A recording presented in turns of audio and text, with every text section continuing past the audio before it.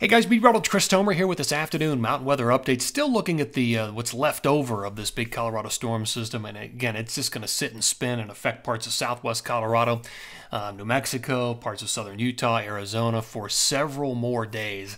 It's going to get cut off from the flow and throw those waves of snow through all of those uh, areas across the four corners until the storm system actually dies. Um, now, looking at things this afternoon, overall, the next storm system for the central and northern Rockies is trending a little bit further to the west, and the trough is just a little bit more broad. So that means snow amounts have gone up in California and the Sierra. They've gone up for parts of the Wasatch, and they've gone up in parts of Colorado as a, as a result. So you can see my timeline here for the Sierra. Your next storm system, 323, 324, could see heavy accumulation with that. You can see the Tetons, the Wasatch, Colorado's timing. Um, Revelstoke, the numbers still look pretty good for Revelstoke. They might have gone down just a little bit for parts of interior BC. I'll show you those in a sec. And the time frame for snow has shrunk just a little bit. So late 320 through 322 for a lot of Revelstoke and Red Mountain and Fernie. In the Northeast, nothing has really changed. Light snow accumulation 318, 1920, and maybe even on 21. All right, here's uh, water vapor this afternoon. So let me just point out a couple of important features. So again, with this, your moisture lofts and your whites, your blues, your greens, and you can see where our storm is. It has retrograded all the way back to, to basically the four corners, southern Utah, Arizona, again throwing moisture into southwest Colorado and also um, snow into parts of New Mexico as well. But the central and northern Rockies up here, it is just high and dry big high pressure, and it's just a waiting game to you know, really to change the pattern, and that happens on or after now 321, 322 through 325. So let me just show you the jet. Well, here's what's gonna here's what's coming. That big trough. That's part of the pattern shift. Uh, here's the latest jet forecast, and I'll show you some of the stuff that that uh, I'm seeing trending here. But you can see the cutoff low in the southwest part of the country, and then the big high pressure to the north. All right, there's uh, Sunday 317 end of day. Same for 318, 319, 320. Now we start to see the next storm system move in with both jet streams. The northern branch buckles, you've got the southern branch coming in. And then watch what happens. Here we reach the, the peak for this storm system. And look at how broad the trough is on this afternoon update. And it's much further west. The axis is definitely tilted much further to the west. So that opens up the door.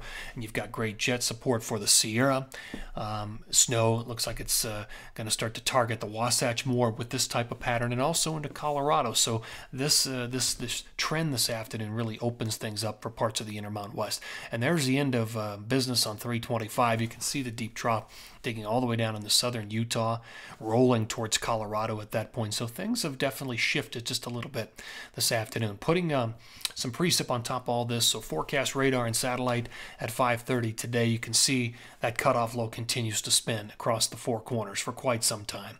317, 318, 319. It's not done yet. Watch 320. There we go. Finally, here comes the next storm system in from the north. And so there's an initial storm, and then there's a secondary storm. Watch it come in on 323, 324.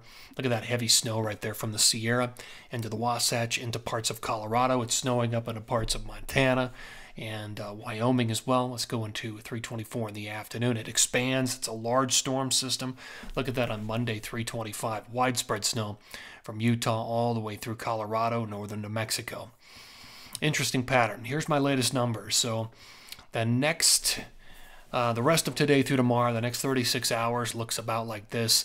The snow is across the four corners. Some light additional accumulation, southern Utah, Arizona. Moderate accums, southern Utah or uh, southern Colorado and northern New Mexico. Next time periods 318 through 320. A little bit of leftover snow again with that cutoff low, but you can look to the north and start to see that next storm system rolling to the south. So it's going to come from the north, drop down to the south, start to pick up some accumulation around Banff and Sunshine, Marmot Village. But this period right here, this is the one that's most active. You've got all the jet support. You've got probably two different storm systems here. You've got some cold air diving in.